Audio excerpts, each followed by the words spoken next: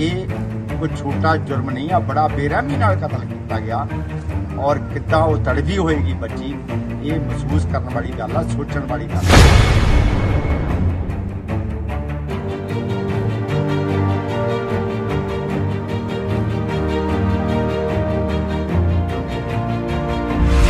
ਸਾਡੀ ਮੰਗ ਹੈ ਕਿ ਫਾਸਟ ਟਰੈਕ ਕੋਰਟ ਤੇ ਕੇਸ ਨੂੰ ਚਲਾ ਕੇ ਫਾਂਸੀ ਤੱਕ ਇਹਨਾਂ ਨੂੰ ਲਿਆ ਜਾਵੇ, ਫਾਂਸੀ ਦੀ ਸਜ਼ਾ ਦੀ ਅਸੀਂ ਮੰਗ ਕਰ ਰਹੇ ਹਾਂ। ਇਹਨਾਂ ਨੂੰ ਫਾਹੀ ਲਾਓ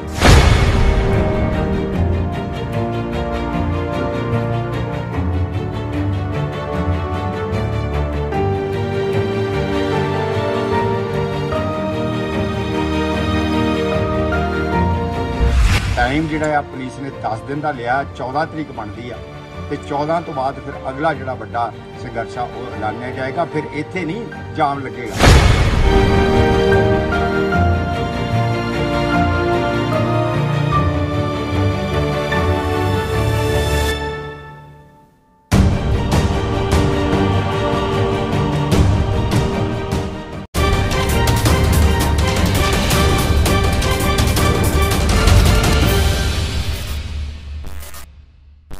ਬੀਤੇ ਦਿਨੀ ਅੰਮ੍ਰਿਤਸਰ ਦੇ ਗੁਮਟਾਲਾ ਕਲੋਨੀ ਦੀ ਰਹਿਣ ਵਾਲੀ ਸਲੋਮੀ ਦਾ ਉਸਦੇ ਪ੍ਰੇਮੀ ਵੱਲੋਂ ਹੀ ਕਤਲ ਕਰ ਦਿੱਤਾ ਗਿਆ ਸੀ ਅਤੇ ਅੱਜ ਕ੍ਰਿਸਚੀਅਨ ਨੈਸ਼ਨਲ ਫਰੰਟ ਦੇ ਰਾਸ਼ਟਰੀ ਪ੍ਰਧਾਨ ਲਾਰੈਂਸ ਚੌਧਰੀ ਦੁਖੀ ਪਰਿਵਾਰ ਨਾਲ ਅਫਸੋਸ ਪ੍ਰਗਟ ਕਰਨ ਪਹੁੰਚੇ।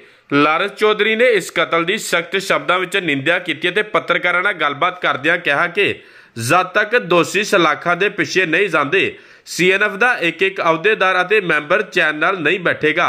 ਉਹਨਾਂ ਅੰਮ੍ਰਿਤਸਰ ਦਿਹਾਤੀ ਪੁਲਿਸ ਦੇ ਉੱਚ ਅਧਿਕਾਰੀਆਂ ਤੋਂ ਦੋਸ਼ੀਆਂ ਨੂੰ ਜਲਦ ਗ੍ਰਿਫਤਾਰ ਕਰਨ, ਫਾਸਟ ਟਰੈਕ ਅਦਾਲਤ ਰਾਹੀਂ ਕੇਸ ਚਲਾਉਣ ਅਤੇ ਦੋਸ਼ੀਆਂ ਨੂੰ ਫਾਂਸੀ ਦੇਣ ਦੀ ਮੰਗ ਕੀਤੀ। ਉਹਨਾਂ ਕਿਹਾ ਕਿ ਜੇਕਰ ਦੋਸ਼ੀਆਂ ਨੂੰ ਜਲਦ ਗ੍ਰਿਫਤਾਰ ਨਾ ਕੀਤਾ ਗਿਆ, ਤਾਂ ਸੀਐਨਐਫ ਵੱਲੋਂ ਸਹਿਯੋਗੀ ਜਥੇਬੰਦੀਆਂ ਨਾਲ ਮਿਲ ਕੇ 에ਅਰਪੋਰਟ ਰੋਡ ਅਣਮਿੱਥੇ ਸਮੇਂ ਲਈ ਬੰਦ ਕੀਤਾ ਜਾਵੇਗਾ, ਜਿਸ ਦੀ ਜ਼ਿੰਮੇਵਾਰੀ ਅੰਮ੍ਰਿਤਸਰ ਸਿਵਲ ਅਤੇ ਪੁਲਿਸ ਪ੍ਰਸ਼ਾਸਨ ਦੀ ਹੋਵੇਗੀ। ਅੱਜ ਅਸੀਂ ਗੁਮਟਾਲਾ ਕਲੋਨੀ, ਜੋ ਸਾਡੀ ਬੇਟੀ ਸਲੋਮੀ ਦਾ ਪਿਛਲੇ ਦਿਨੀ ਬੜਾ ਬੇਰਹਿਮੀ ਨਾਲ ਕਤਲ ਕੀਤਾ ਗਿਆ। ਮੈਂ ਉਸ ਘਟਨਾ ਦੀ ਸਖਤ ਸ਼ਬਦਾਂ ਵਿੱਚ ਪਹਿਲਾਂ ਤਾਂ ਨਿੰਦਾ ਕਰਦਾ ਔਰ ਅੱਜ ਇੱਥੇ ਸਾਨੂੰ ਮੌਕਾ ਮਿਲਿਆ ਕਿ ਅਸੀਂ ਪਰਿਵਾਰ ਨੂੰ ਮਿਲ ਕੇ ਉਹਨਾਂ ਨੂੰ ਤਸੱਲੀ ਦਈਏ, ਉਹਨਾਂ ਨੂੰ ਭਰੋਸਾ ਦਿਵਾਉਣ ਵਾਸਤੇ ਆਏ ਆ ਕਿ ਇਹ ਬੇਟੀ ਤੁਹਾਡੀ ਨਹੀਂ ਇਹ ਬੇਟੀ ਪੂਰੇ ਮਸੀਹ ਸਮਾਜ ਦੀ ਬੇਟੀ ਹੈ। ਔਰ ਅਸੀਂ ਪਰਿਵਾਰ ਦੇ ਨਾਲ ਅਫਸੋਸ ਕੀਤਾ। ਪਰਿਵਾਰ ਇਸ ਵੇਲੇ ਬਹੁਤ ਸਦਮੇ ਦੇ ਵਿੱਚ ਆ। ਉਸ ਬੇਟੀ ਦਾ ਬ੍ਰਦਰ ਵੀ ਬਹੁਤ ਸਦਮੇ ਦੇ ਵਿੱਚ ਆ, ਮਾਂ ਵੀ ਬਹੁਤ ਸਦਮੇ 'ਚ ਆ।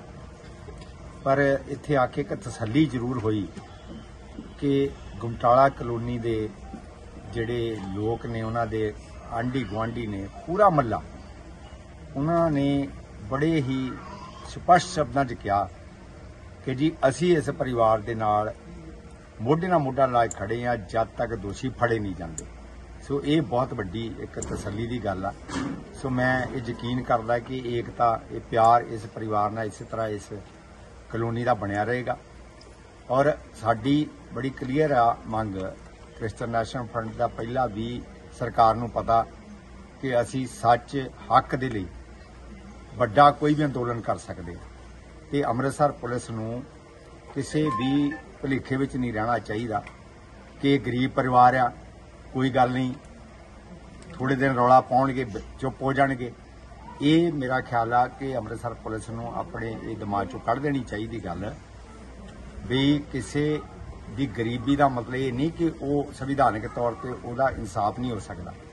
ਇਨਸਾਫ ਦੇ ਲਈ ਗਰੀਬ ਅਮੀਰ ਨਹੀਂ ਦੇਖਿਆ ਜਾਂਦਾ ਤੇ ਇਸ ਕਰਕੇ ਮੈਂ ਇਹ ਯਕੀਨ ਕਰਦਾ ਕਿ ਅੰਮ੍ਰਿਤਸਰ ਪੁਲਿਸ ਇਹ ਨਹੀਂ ਵਿਚਾਰ ਕਰੇਗੀ, ਬਲਕਿ ਉਹ ਇਸ ਪਰਿਵਾਰ ਨੂੰ ਇਨਸਾਫ ਦੇਣ ਦੇ ਲਈ ਅੱਗੇ ਆਏਗੀ ਔਰ ਜਿਹੜੇ ਦੋਸ਼ੀ ਆ, ਜਿੱਥੇ ਵੀ ਕਿਤੇ ਹੈਗੇ ਆ, ਜਿੰਨੇ ਲਿਖਾਏ ਗਏ, ਉਹਨਾਂ ਨੂੰ ਇਮੀਡੀਏਟਲੀ ਉਹ ਰਾਉਂਡ ਅਪ ਕੀਤਾ ਜਾਵੇ ਔਰ ਸਲਾਖਾਂ ਪਿੱਛੇ ਪਾਇਆ ਜਾਵੇ ਤੇ ਸਾਡੀ ਮੰਗ ਹੈ ਕਿ ਫਾਸਟ ਟਰੈਕ ਕੋਰਟ ਤੇ ਕੇਸ ਨੂੰ ਚਲਾ ਕੇ ਫਾਂਸੀ ਤੱਕ ਇਹਨਾਂ ਨੂੰ ਲਿਆ ਜਾਵੇ। ਫਾਂਸੀ ਦੀ ਸਜ਼ਾ ਦੀ ਅਸੀਂ ਮੰਗ ਕਰ ਰਹੇ ਹਾਂ। ਇਹਨਾਂ ਨੂੰ ਫਾਹੀ ਲਾਓ, ਕਿਉਂਕਿ ਇਹ ਕੋਈ ਛੋਟਾ ਜੁਰਮ ਨਹੀਂ ਆ, ਬੜਾ ਬੇਰਹਿਮੀ ਨਾਲ ਕਤਲ ਕੀਤਾ ਗਿਆ ਔਰ ਕਿੱਦਾਂ ਉਹ ਤੜਫੀ ਹੋਏਗੀ ਬੱਚੀ, ਇਹ ਮਹਿਸੂਸ ਕਰਨ ਵਾਲੀ ਗੱਲ ਆ, ਸੋਚਣ ਵਾਲੀ ਗੱਲ ਆ। ਸੋ ਸਾਡੀ ਸਰਕਾਰ ਨੂੰ ਬੜੀ ਕਲੀਅਰ ਇਹ ਜਿਹੜਾ ਮੈਂ ਦੱਸ ਦੇਣਾ ਚਾਹੁੰਦਾ, ਭਗਵੰਤ ਮਾਨ ਸਰਕਾਰ ਨੂੰ ਕਿ ਇਹ ਬੱਚੀ ਦੇ ਜੇ ਕਾਤਲਾਂ ਨੂੰ ਜਲਦ ਗ੍ਰਿਫਤਾਰ ਨਹੀਂ ਕੀਤਾ, ਇਹ ਅੰਦੋਲਨ ਬਹੁਤ ਵੱਡੇ ਰੂਪ 'ਚ ਪਹਿਲੋਂ ਅੰਮ੍ਰਿਤਸਰ 'ਚ ਹੀ ਹੋਣਾ ਆ। ਉਸ ਤੋਂ ਬਾਅਦ ਇਹ ਪੂਰੇ ਪੰਜਾਬ 'ਚ ਫੈਲੇਗਾ। ਸੋ ਪਰਿਵਾਰ ਗਰੀਬ ਆ, ਬਾਕੀ ਗੱਲਾਂ ਜਿਹੜੀਆਂ ਉਹਨਾਂ ਦੇ ਮੁਆਵਜ਼ੇ ਦੀ ਜਾਂ ਕੁਝ ਵੀ, ਉਹ ਵੀ ਅਸੀਂ ਸਰਕਾਰ ਦੇ ਨਾਲ ਰੱਖਾਂਗੇ। ਪਰ ਸਭ ਤੋਂ ਪਹਿਲਾਂ ਸਾਡੀ ਜਿਹੜੀ ਮੇਨ ਮੰਗ ਆ, ਉਹ ਹੈਗੀ ਆ ਕਿ ਦੋਸ਼ੀਆਂ ਨੂੰ ਗ੍ਰਿਫਤਾਰ ਕਰਕੇ ਸਲਾਖਾਂ ਪਿੱਛੇ ਸਿੱਟਿਆ ਜਾਵੇ ਤੇ ਉਹਨਾਂ ਨੂੰ ਫਾਂਸੀ ਸਜ਼ਾ ਦਿੱਤੀ ਜਾਵੇ। ਸੋ ਇਹ ਟਾਈਮ ਜਿਹੜਾ ਆ, ਪੁਲਿਸ ਨੇ 10 ਦਿਨ ਦਾ ਲਿਆ 14 ਤਰੀਕ ਬਣਦੀ ਆ। ਤੇ 14 ਤੋਂ ਬਾਅਦ ਫਿਰ ਅਗਲਾ ਜਿਹੜਾ ਵੱਡਾ ਸੰਘਰਸ਼ ਆ, ਉਹ ਐਲਾਨਿਆ ਜਾਏਗਾ। ਫਿਰ ਇੱਥੇ ਨਹੀਂ ਜਾਮ ਲੱਗੇਗਾ। ਇਹ ਫਿਰ ਜਿਹੜਾ 에어ਪੋਰਟ ਰੋਡ ਆ ਜਿਹੜਾ ਬਾਘਾ ਬਾਰਡਰ ਨੂੰ ਵੀ ਜੁੜਦਾ ਤੇ ਪੂਰੇ ਦੇਸ਼ ਨੂੰ ਵੀ ਜੁੜਦਾ, ਫਿਰ ਅਸੀਂ ਉਹਨੂੰ ਕਿੰਨੇ ਟਾਈਮ ਲਈ ਜਾਮ ਕਰਨਾ, ਕਿੰਨਾ ਅਣਮਿੱਥੇ ਸਮੇਂ ਲਈ ਕਰਨਾ, ਇਹ ਜਿਹੜਾ ਅਸੀਂ ਫਿਰ ਆਪਣਾ ਵਿਚਾਰ ਕਰਕੇ ਕਲੀਅਰ ਕਰ ਦਾਂਗੇ। ਪਰ ਮੈਂ ਮੈਂ ਇਹੋ ਹੀ ਮੰਗ ਕਰਦਾ ਕਿ ਉਹ, ਇਹ ਉਹ ਤੋਂ ਪਹਿਲਾਂ ਪਹਿਲਾਂ ਕਿ ਸਾਨੂੰ ਮਜਬੂਰ ਨਾ ਕੀਤਾ ਜਾਵੇ, ਦੋਸ਼ੀਆਂ ਨੂੰ ਫੜ ਕੇ ਸਲਾਖਾ ਪਿੱਛੇ ਸਿੱਟਿਆ ਜਾਵੇ। Thank you very much